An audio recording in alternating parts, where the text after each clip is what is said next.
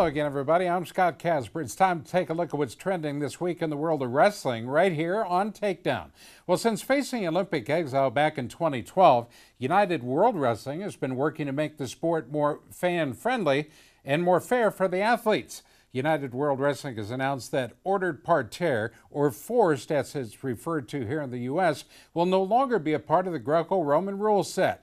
Well, it sounds like a welcome adjustment for American wrestlers who have traditionally excelled in the stand up and struggle to score or defend on the mat. But as Five Point Move founder Tim Hands points out, the change doesn't mean the U.S. is suddenly at an advantage or that officiating won't factor into the final score. I think that there are two competing narratives at play. Um, if you ask the lion's share of the athletes, this is awesome news.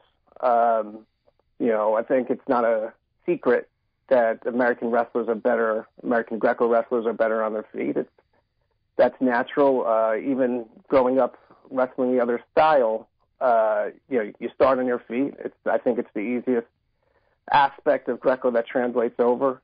Um, you know, wrestling developmentally in the U.S., we always had the seven basic skills and those last two skills are back step and back arch. I, I I can't speak for anybody. I'm 37 years old. I didn't I didn't learn back step and back arch.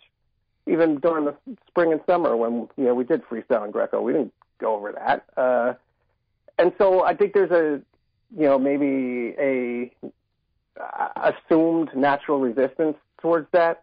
Obviously, um, I don't think I don't think uh, you know, throws are, you know, when somebody hits a throw in a folk style match, whether that's at the NCAA or high school level, everybody's all excited over it, of course, but um, you don't see it enough.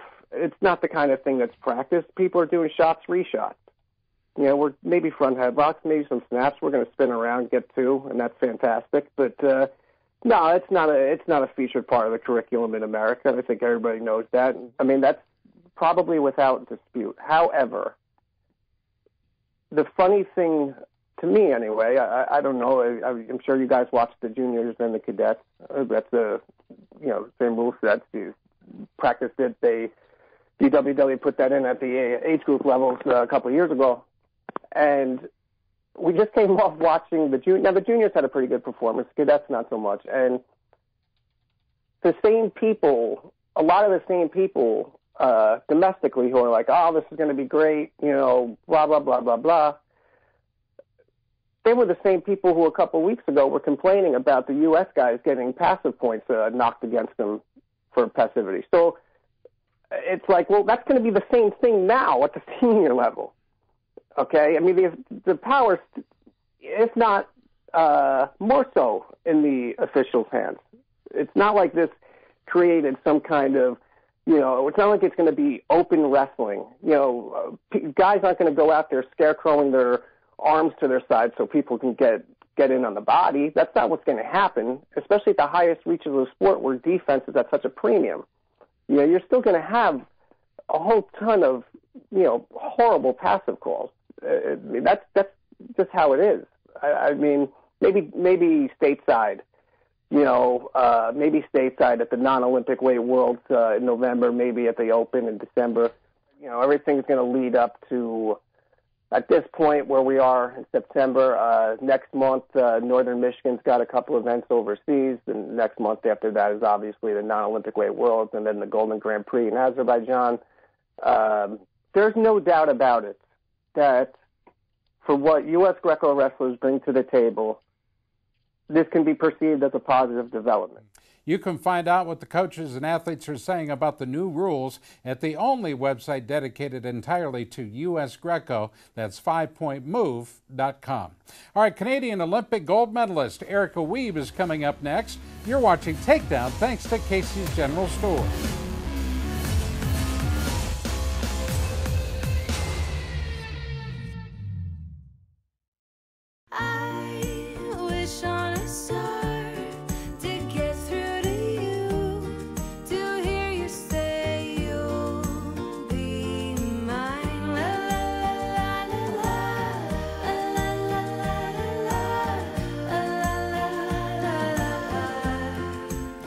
Right now, get any large original or flatbread supreme pizza for only $13.99. Casey's, famous for pizza. At Cookies, sauces and seasonings are business, but food is our passion. Our secret ingredient is Cookies Flavor Enhancer and All Purpose Seasoning. It makes pretty much everything taste better. You can use it on meats and in marinades, veggies and seafood. Try it on pasta and even popcorn. Pick up a bottle at your local grocer and enhance the flavor of your favorite foods. For more ideas and recipes, visit cookiesbbq.com.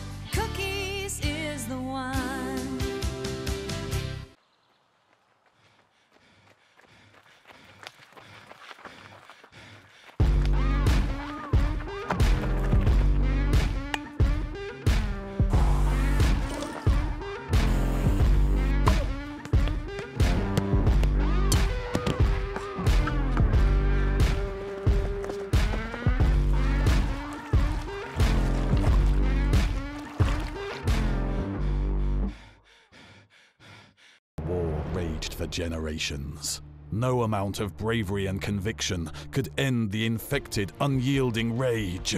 And with every battle, the evil grew, changed, evolved.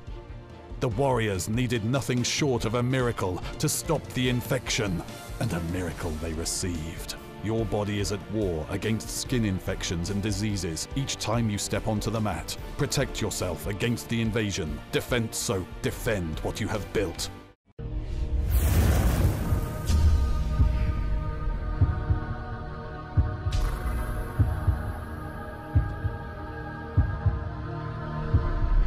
All right, welcome back. Our Takedown Radio recap continues north of the U.S. That's where Erica Wiebe recently became just the third Canadian wrestler ever to win Olympic gold. She talked with us about her personal journey to the top of the 75 kilo division, the perceived bias against North American athletes, and her future aspirations in the sport. I actually um, I lost the Canadian national championships, and so in March of 2015, and so that I uh, I only lost to one person in 2015, and that was a Canadian. You know, our our program is really strong, and uh, maybe I just didn't have what it took on that day, and so I lost the opportunity to represent Canada at the Pan Am Games and at the World Championships in Las Vegas in 2015. But I you know I feel like that failure definitely made me stronger and made me think about what I needed to focus on and what I needed to do in 2016, and uh, it all worked out. You know, women's wrestling has had a really strong legacy in in Canada. Um, we've won a medal at the last, uh, like ever since women's wrestling was inaugurated in 2004. And so I think um, it this kind of the nature of the sport, the profile of the sport is changing. I think with social media, you know, people have seen me more, or feel more connected to my story. I know you've got a lot of experience in the past um, against Adeline Gray. I have to imagine you you had planned to face her at some point did you have to change change your game plan at all when you didn't end up meeting with her in the semifinals? Well, I mean, like the draw is completely random, right? And so I had game plans for every single one of my opponents. And uh, I looked at my draw, you know, the night before weigh-ins, and I knew it was going to be a tough day. And I was, but I was taking it match by match. And so I wrestled my first opponent, and then I, you know, took care of the Chinese um, athlete Feng Lu Zhao, who's she's a really tough competitor. You know, she's a 2013 world champion. She's um, you know, got what it takes. And so I had to, to really focus in that match. And then when I looked over and I saw that um, Adeline had just lost to Marza, Marzaliuk, the Belarusian, in the quarters, I immediately shifted my focus and, and knew that I had to wrestle Vasilisa. And she's a really tough opponent. And that's all I thought about on that day. But, um, you know, I just, I'm super excited. I had so much fun wrestling at the Olympics on August 18th. And, uh, there's so many opportunities ahead of me, and so I'm just kind of try and do what I did for the last four years, and be my best every day and see where it takes me. Um, as as American wrestling fans, we often think that um, there's a certain bias against Americans, you know, with referees, with other countries. Being our closest ally, do you get that same mm-hmm. perspective, or do you feel like we're uh, we're just being babies sometimes? well, I mean, it, it is a subjective sport but at the end of the day, like if you're not the one who's creating opportunities if you're not the one scoring, the way I look at it, you don't deserve to win. I mean, it's it's really hard right right now sometimes with the passivity point, and the refs can put up a point, and and can really decide the match. And we saw that with the Mongolian wrestler against uh, Uzbekistan, I believe, right on the last day of wrestling at the games. But um, I've always thought that if you can't put points on the board and and you know create action and and really win on your own terms, then you know maybe you don't necessarily deserve to win. So I always try and keep it out of the referee's hands, and uh, and that's kind of my mo. All right, the All Star Classic has its first entry. We'll talk about that and more after this. You're watching Takedown. Thanks to McBride Max.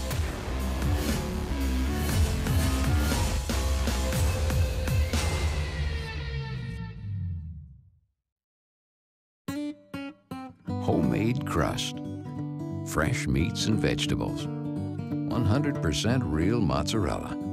There ain't nothing like the smell of a homemade pizza when it comes out of the oven. Of course, those pine tree air fresheners smell pretty darn good too. Casey's, famous for pizza. Introducing your favorite dip on a pizza. Pick up the all new spinach artichoke chicken pizza today. Yellow Blue wants to show you global energy demands are expanding at an alarming rate. Power grids in the U.S. are aging while coal plants continue to close at record rates. Utility rates are at an all time high and there's no end in sight. If this concerns you, call Yellow Blue, delivering products and services that are not only green but cost effective. You can be independent, safe, and secure. We'll show you how at yellowbluetech.com.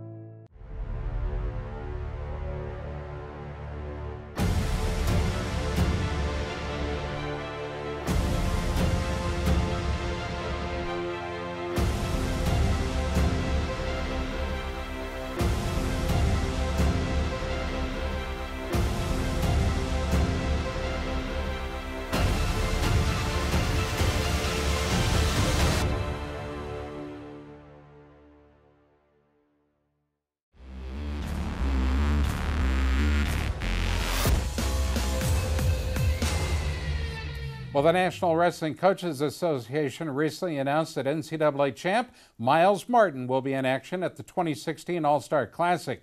Now, as expected, Martin will move up a weight for his sophomore year and will make his 184 pound debut in Cleveland.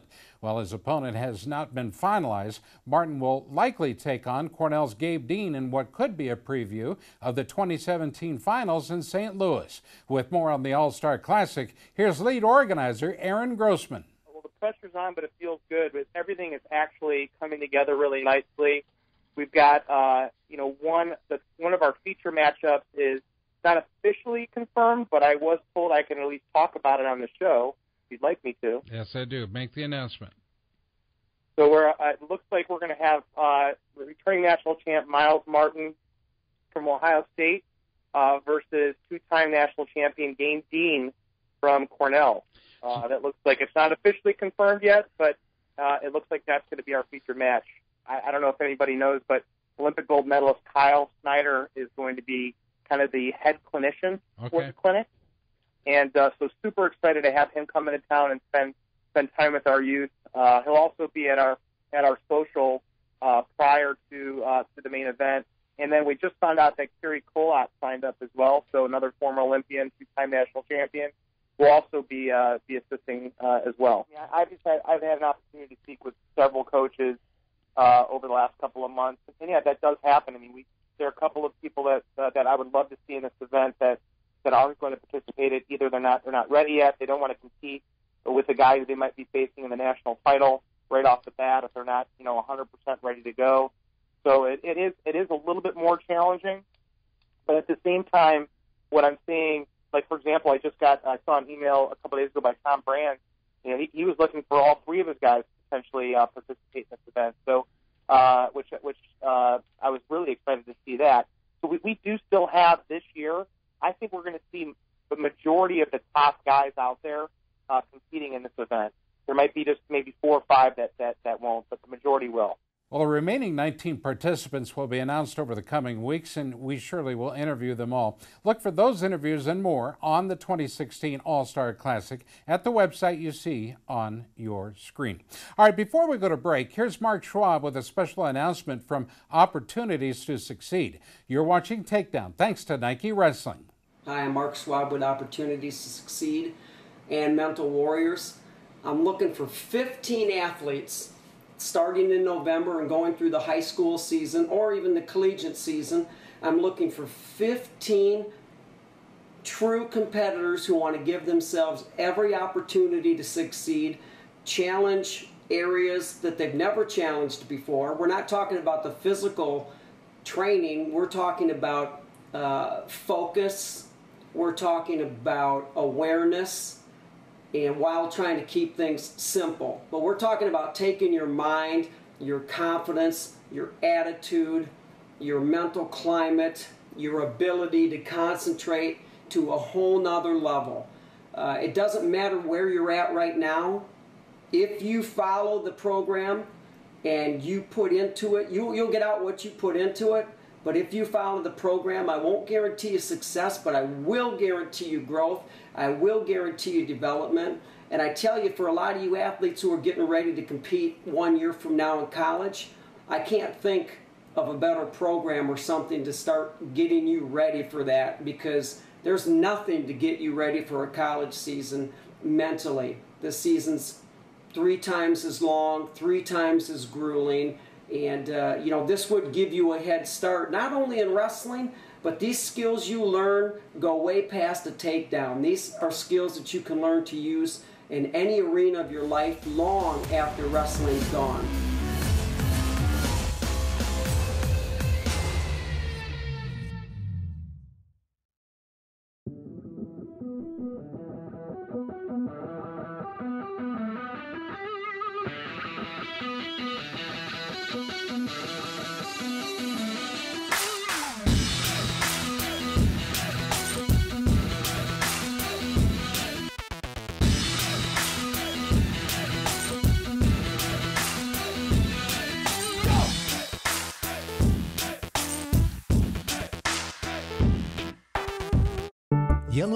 Wants to show you three great ways to make your home more comfortable. Install a hybrid solar home system utilizing solar power in the day, battery power at night.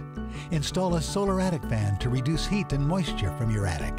And install a multi layer reflective insulation blanket in your attic to reduce the cost of heating and cooling. Conserve energy, save money, protect the environment with Yellow Blue Ecotech. Learn more ways at yellowbluetech.com. Speed the Sauce Man here. While sauces and seasonings are our business, food is our passion, and we've been helping make your favorite foods taste better for years. Try our wings and things hot sauce and everything from chicken wings to your morning eggs. Use it in recipes like spicy chicken noodle dinner, party dip, and buffalo chicken pizza. It's not only delicious, but it's award winning too. Wings and Things recently earned first place honors in the hot sauce category at the National Barbecue Association's Award of Excellence competition. Remember, smart cookies use cookies. Proudly made in the USA, Danmar offers incredible protection and customized gear. I'm Tony Ramos, NCAA champion and world team member. Take my word that Danmar Warrior headgear is the best. It's what I use. Look for my limited edition signature headgear at a retailer near you or online at danmarwarrior.com. I'm a world-class warrior and you can be one too with Danmar. Follow me on Twitter at T underscore Ram133 or on my website, teamramos.co.